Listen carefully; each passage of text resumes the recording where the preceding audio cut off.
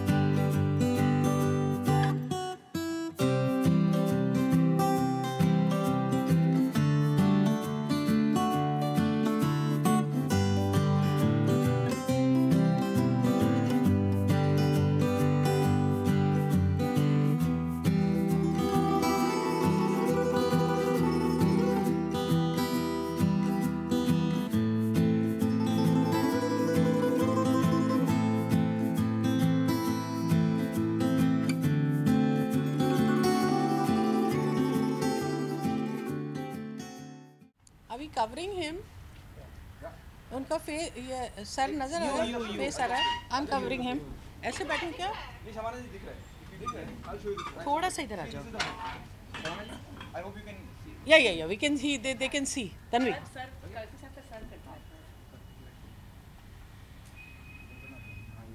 ऊपर रख, देखिए सबको ऊपर से। आइए। ठीक है? रोल कर रहे हैं? Rolling? Uh, good to see you. इतनी एक एक बहुत ही अच्छा इनिशिएटिव ये कैसे आइडिया आया कि ऐसा कुछ करना चाहिए? देखिए करेक्ट क्योंकि हो सकता है पहले से हो रहा हो मुझे मैं वाकिफ ना नहीं असल में हुआ ये कि 14 जनवरी 2019 को कैफ़ी साहब की हंड्रेड बर्थडे सेलिब्रेशन है। तो ज़ाहिर है हमने ये तय किया था कि सारा साल जश्न मनाएँगे और जश्न जो है सिर्फ़ मुंबई में नहीं बल्कि हिंदुस्तान के कई शहरों में है और यूके में भी है और यूएसए में भी।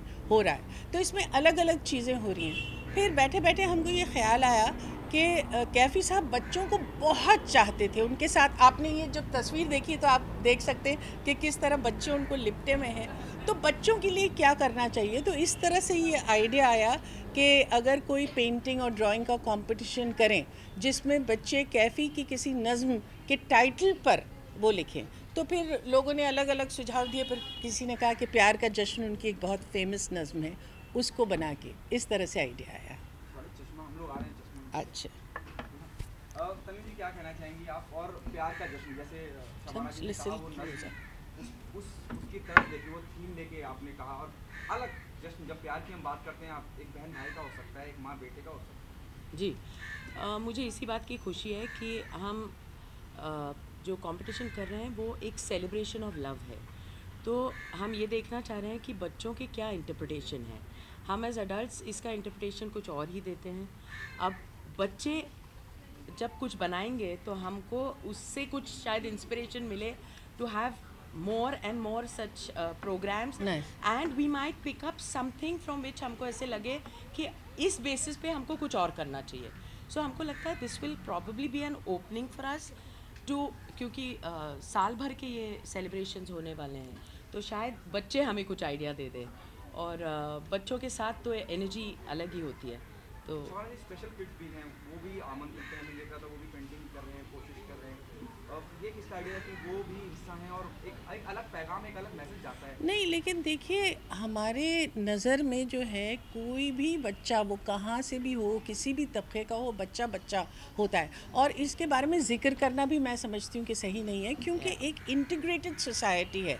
तो जो जिस बात का ख्याल रखा गया है वो ये है कि हर तबके के लोग और हर तरह के बच्चे इसमें हों।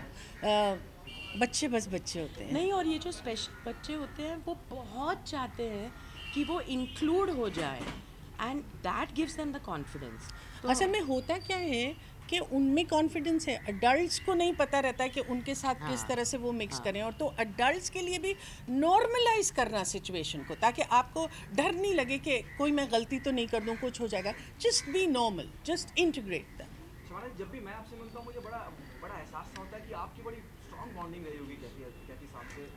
अनगिनत इवेंट्स आपकी तरफ़ से आते हैं। मतलब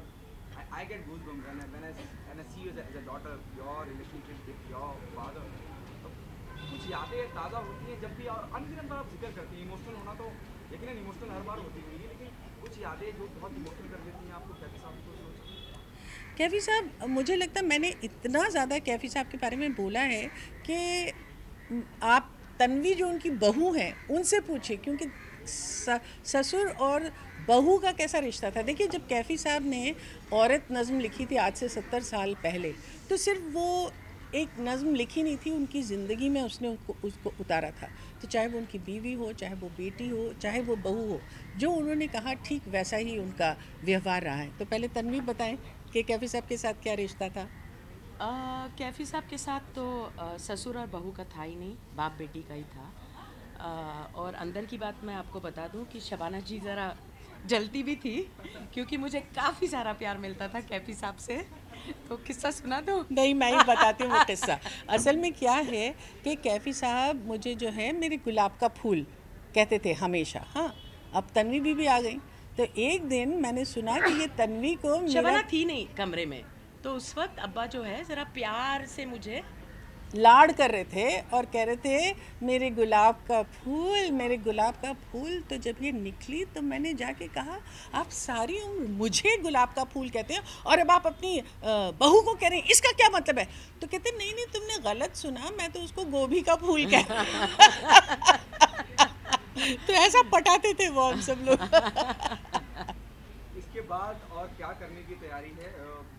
के माध्यम से या मेज़बान के माध्यम से और किस बिना पे जैसे उम्र का भी दखल किया है कि 10 से 15 साल तक कै, कैसे आपने पूरा ज़ीरो डाउन किया? कैसे प्लान किया कि ये स्कूल्स या ये बच्चे या जो जो बच्चे तो हिस्सा बनना चाहे बन सकते हैं लेकिन उम्र का और देखिए ये सोचा गया था कि क्योंकि ये नज़म के उन्वान पर है तो ऐसे बच्चों को ले जिनके पास थोड़ा सा कॉन्सेप्ट हो। अगर बहुत छोटे बच्चों को ले लेंगे तो शायद उनके लिए इसको हज़म करना मुश्किल होगा। तो इस बात का ख्याल रखा गया। फिर जो जूहू सिटीजन्स वेलफेयर ग्रुप है वो हमारे साथ जुड़े क्योंकि कैफी आज़मी पार्क बनाया ही गया था इस ख्याल से कि यहाँ अलग अलग तरीके की एक्टिविटीज़ हों क्योंकि कैफी साहब खुद इतने एक्टिव इंसान थे। तो फिर उन्होंने हमको सपोर्ट किया। और सही मानों में नैना दास गुप्ता जो हैं उन्होंने ये पूरा कंसीव किया है अ, इनके साथ जबीन के साथ। So we are very happy okay be out of the box on a very positive note क्या आपको लगता है जब एक्टिंग की हम बात करते हैं, बहुत से एक्टिंग इंस्टीट्यूट हैं मिस्टिंग गुड है और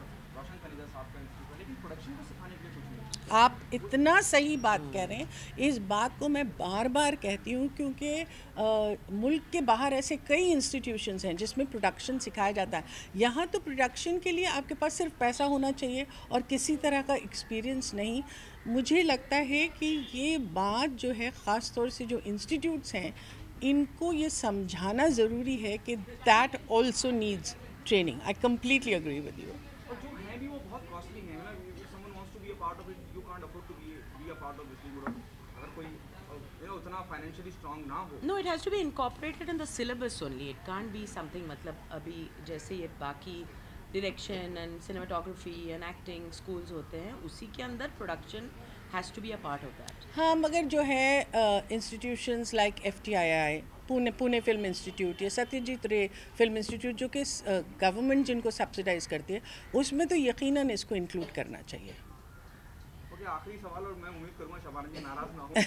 सवाल कुछ ऐसा है कि पाकिस्तान ने कहा है कि वो इंडियन कंटेंट को बैन कर कर दिया है और उस बारे में आपको जब कहना है। देखिए ये बहुत ज़्यादा तकलीफ़ की बात है क्योंकि मेरा ऐसा मानना है कि आर्ट एक ऐसी चीज़ है जो लोगों को जोड़ता है जो लोगों को अलग नहीं करता है। तो हमको ये भी इस बात का ख्याल रखना चाहिए कि ये पाकिस्तान के लोग नहीं चाह रहे हैं ये पाकिस्तान के सियासतदान चाह रहे हैं। हमारे भी सियासतदान ऐसा चाह रहे हैं और मैं ये समझती हूँ कि पीपल टू पीपल कांटेक्ट सबसे ज़्यादा इम्पोर्टेंट चीज़ होती है। ये आप हमारे हाथ बाँध देते हैं। जब आप कहते हैं कि आप इंडियन कंटेंट को नहीं अलाउ करेंगे तो आपने हमारे हाथ बाँध दिए। फिर हम भी रिटेलिएट होकर कहेंगे कि हम आपका कंटेंट तो जो एक इतना बड़ा, हमारे पास इतनी बड़ी सहूलत है कि हम एक ही सब कॉन्टिनेंट में रहते हैं।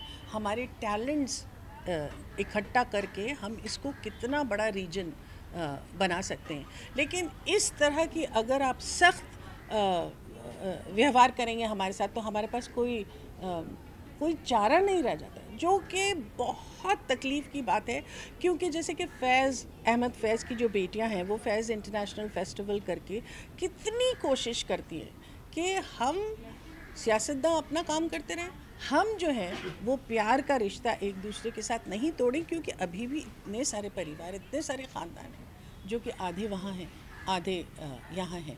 जब हम वहाँ जाते हैं तो हमको इतनी इज़्ज़त मिलती है। जब वो हमारे पास आते हैं तो हैरत ज़दा हो जाते हैं। वो कहते हैं कि, बाप रे, आप तो बिल्कुल हमारी ही तरह हैं। तो ये जो पीपल टू पीपल कांटेक्ट है, जिसमें जो आप सुनते हैं, करते हैं, और जब आप रियल लाइफ में मिलते हैं तो जो फ़र्क आपको मिलता है, वो बहुत है। और ख़ास तौर से कला के लिए मैं समझती हूँ बहुत ही ज़रूरी है। Okay okay okay